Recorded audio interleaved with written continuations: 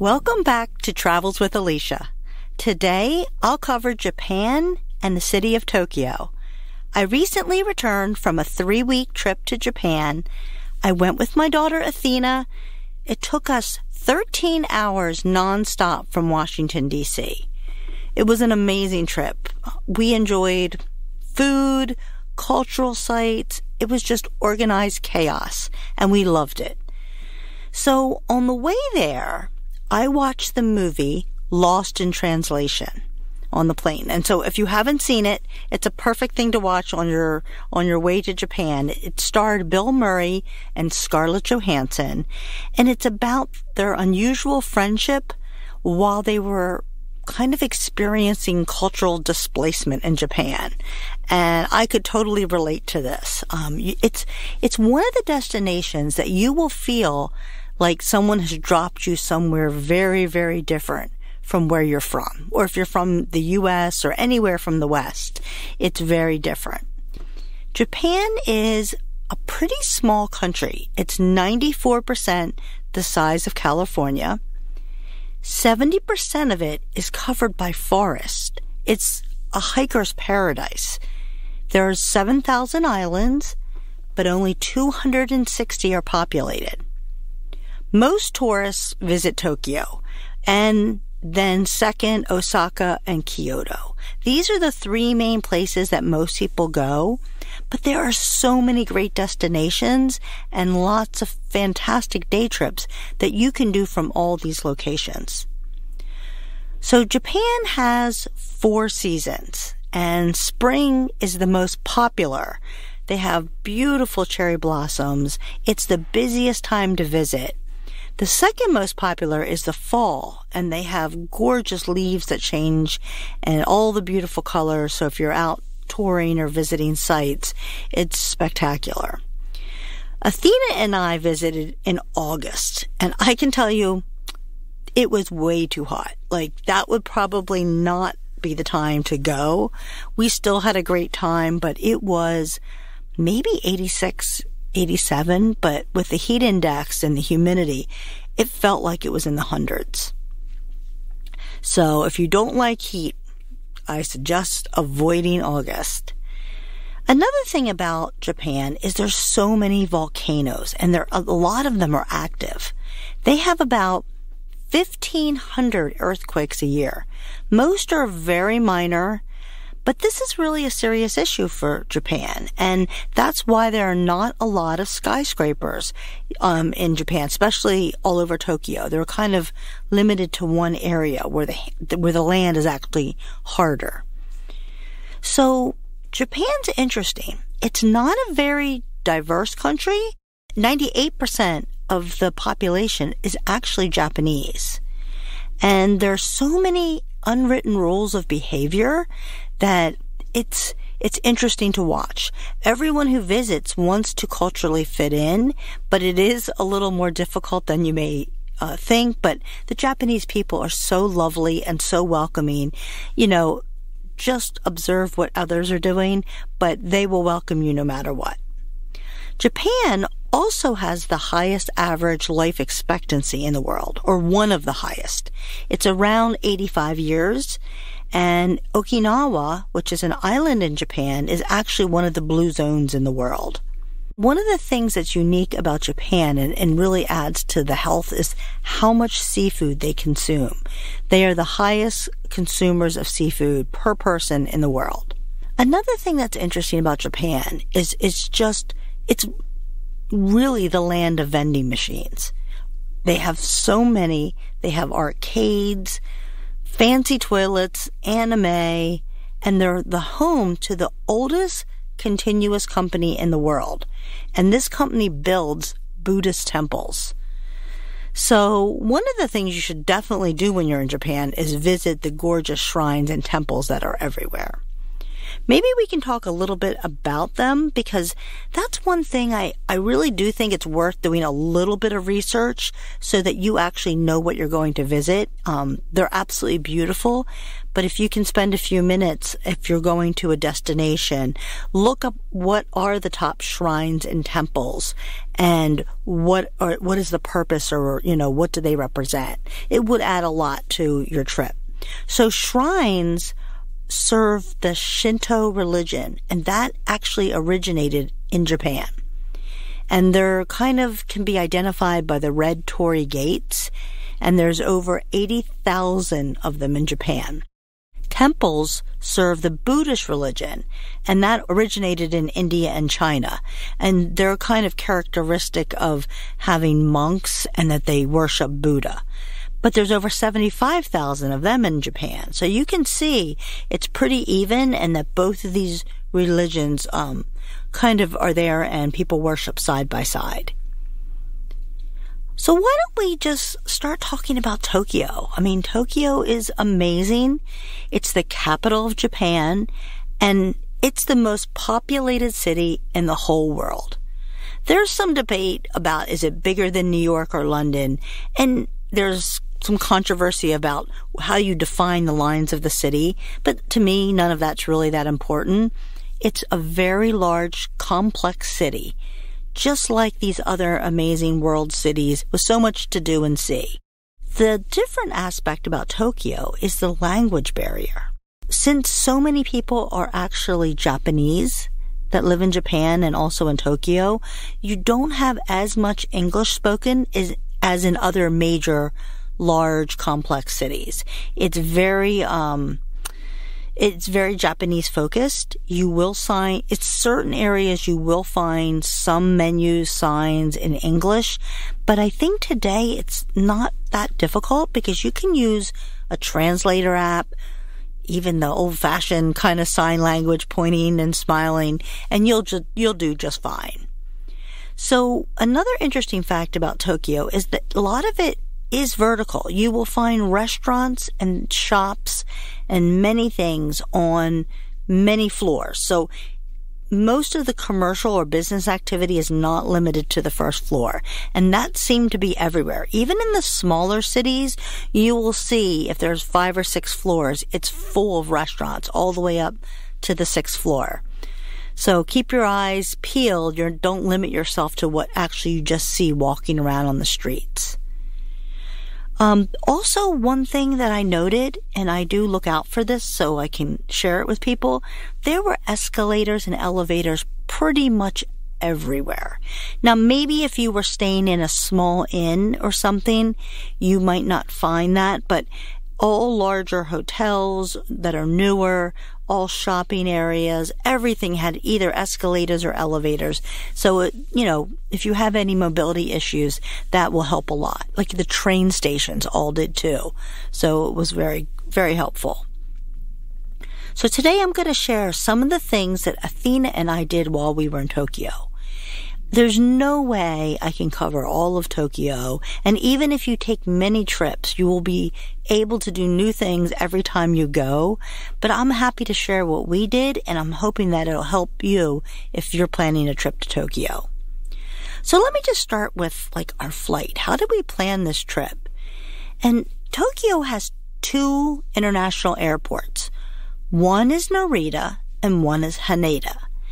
Narita is the international airport that most people will fly into.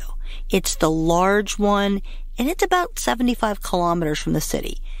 Don't worry, they have express trains that take you back and forth. But there is another airport called Haneda, and that's only about 20 kilometers. And our flight, the one I mentioned that we took nonstop from DC, we were able on a Japanese airline ANA, A-N-A, to fly nonstop into Haneda. So that was fantastic. If you're able to do it, I highly recommend it.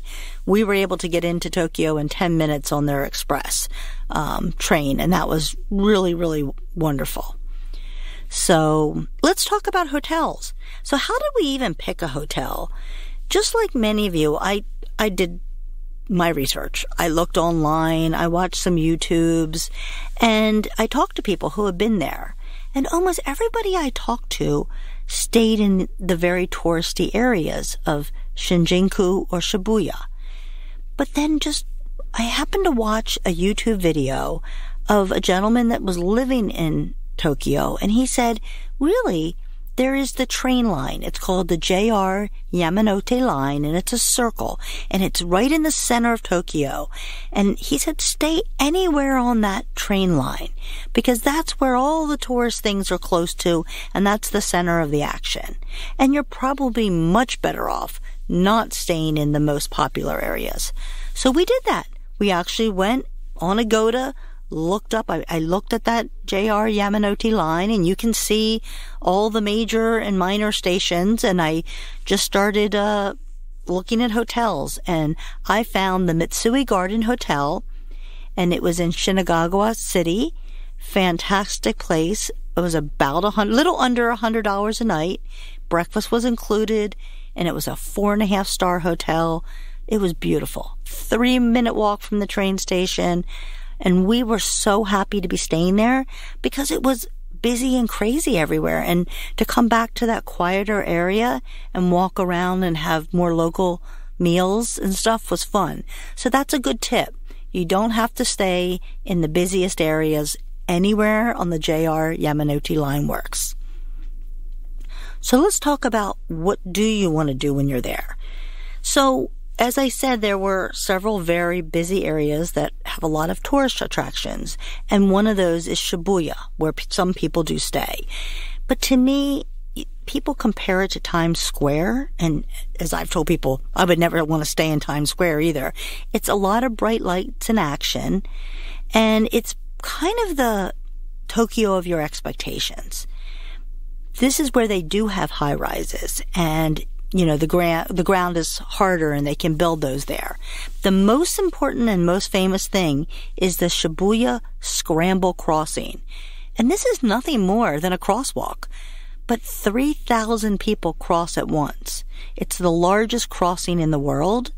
And people love to go there and be part of that crossing of those streets. And you can go up, there's something called the Shibuya Scramble Shopping area and restaurants, and it has, I don't know, many, many, many floors. You can go up and you can even watch it from some of those floors where there's shopping and restaurants. Sit in the restaurants and look down. So that's something really fun to do. And they also have something that's relatively new. It's Shibuya 109, and it's a shopping area too, but it's much younger and hip. So you can definitely see a difference between the Shibuya Scramble shopping and the Shibuya 109. Much younger people, um, but fun to look around. I really enjoyed it. There's also something called Shibuya Parco, and that has the largest Nintendo store right there. So you, if you have a fan of that in your family. One of the other things I want to mention about this area is they do have something called Center Gai Street, J G A I, and this is where there's not sky rises. This is actually more like gives you a more characteristic feeling of restaurants, bars, and shopping, and it feels more um, like an older Tokyo feel. So that's kind of fun to see if you're in that area. The last thing I'll mention in Shibuya is they have the largest Don Quijote. They call it the Mega Donki. And this is a famous store in Japan. It's seven floors. It's open 24 hours a day. It's where everyone goes to get all the souvenirs and gifts that you want to bring home that, that aren't super like homemade or upscale, but it, they, they have everything. They have the largest selection of Kit Kats in anywhere in Japan. It's a, it's a sight to be seen. You'll find it no matter where you're staying in Tokyo. I'm sure there'll be one close, but the largest one is in Shibuya. So if you go north of Shibuya, the next stop is called Harajuku, and this stop has two important things that you might want to see. One is the Meiji Jingu Shrine, and it's just very convenient. If you get off the train, there'll be signs to it, and it's literally steps from the train station. So it was very easy to visit and it would had huge like park like feel. Like when you were walking up to the shrine, it was like a major road that was just gravel and people were walking up it. So it was really beautiful. And there's the sake barrels that were outside and there was a lot of history of sake making in this area and it was worth, you know, taking time and looking at all all of that as well. There's also a park and it's called Yoyogi Park and it's also right next to the shrine. It's almost connected. I didn't go in it. People said it's very beautiful, but the shrine itself feels like it's in a park. So I just walked around that area instead, but it's worth a stop. So definitely go to Harajuku, right, right next to or one stop north of, um, Shibuya. The next area is one more stop north. It's called Shinjuku. And this one is where they have the National Garden.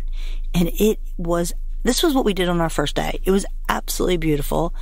Um, again, we were a little too hot, but they have a beautiful, nice tea house where you can take off your shoes and there's bamboo mats. It was air conditioned. And we, instead of getting tea, we ended up getting shaved ice. And it was the best shaved ice of our whole trip. It was very upscale with like fresh white peaches all over it. Absolutely wonderful.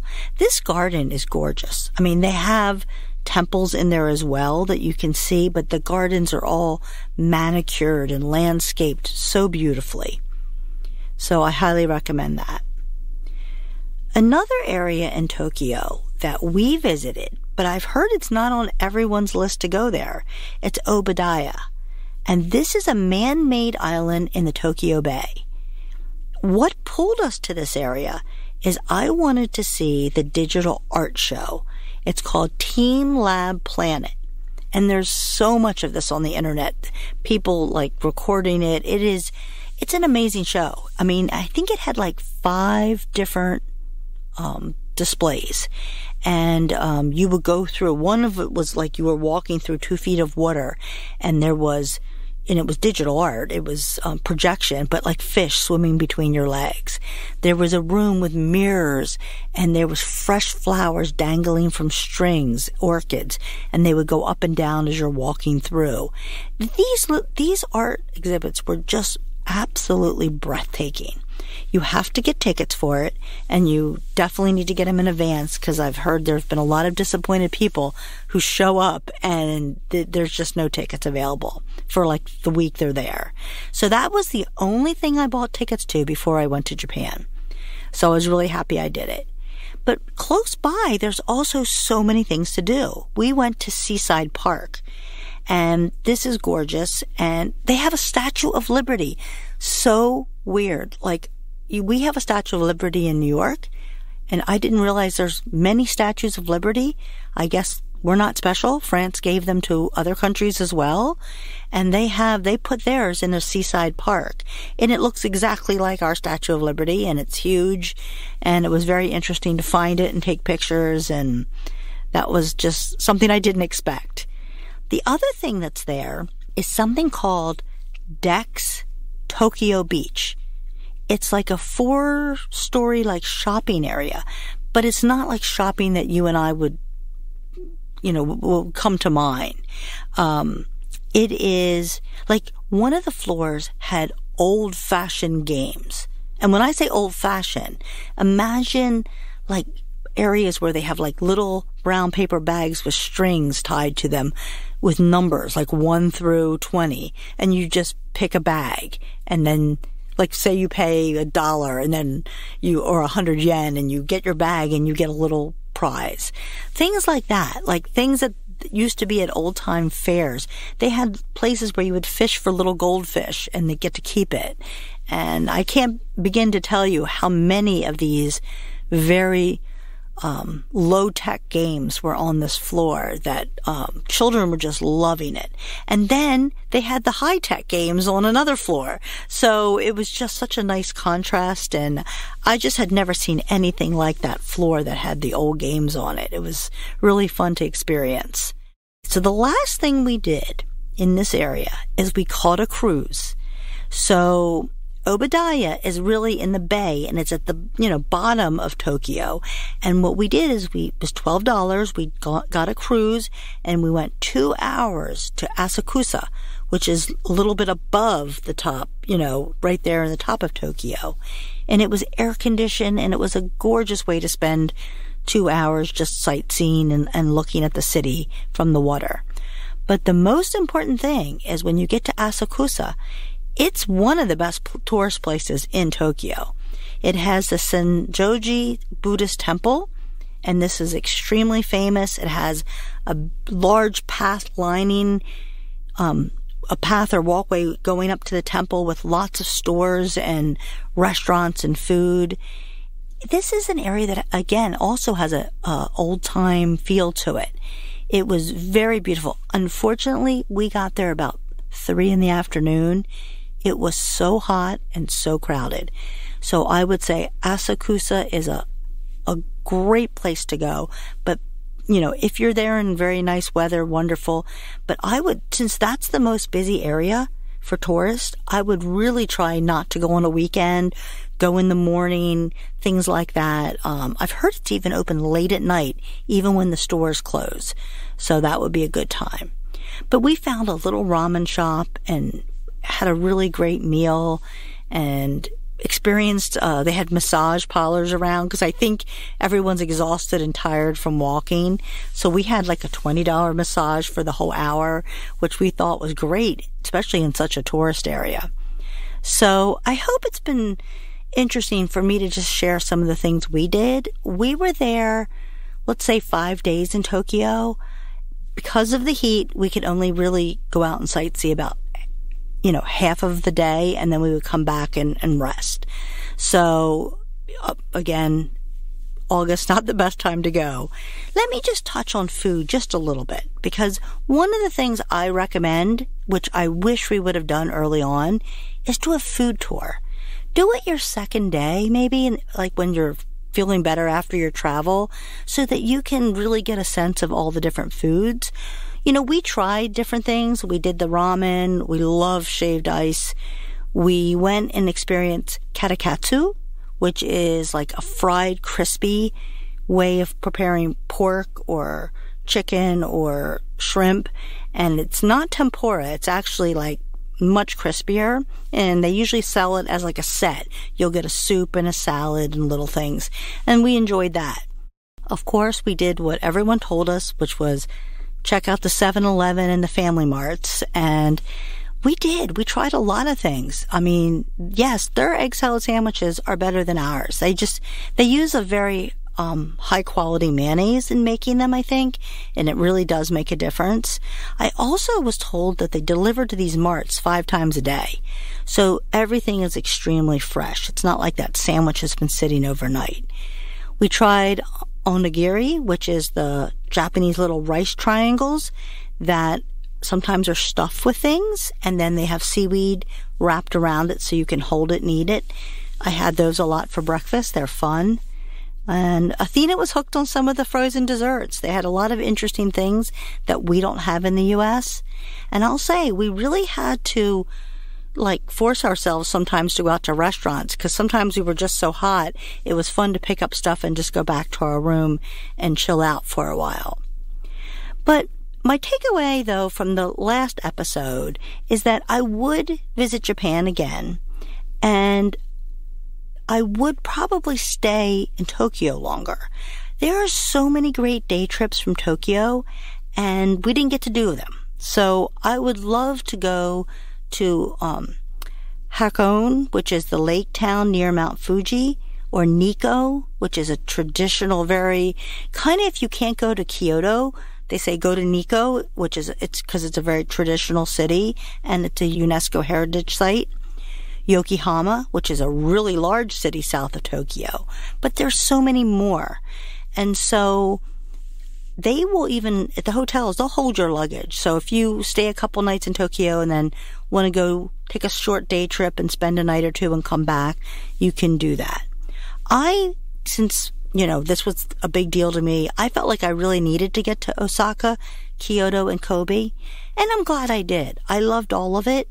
But if someone decided that they were going to stay in Tokyo for two weeks and do all these day trips, I think that would be amazing too. And I don't think I would convince them to do anything else because the moving around was a lot. It was a lot of work and there's so much in Tokyo. I think you could not only spend two weeks there, you could go back again and again and always see something new. I hope you've enjoyed this episode. And in the next episode, I'm going to cover Osaka and our day trip to Nara. It'll be fun because Athena's going to join me again and share her experiences. Thank you and stay tuned for more travels with Alicia.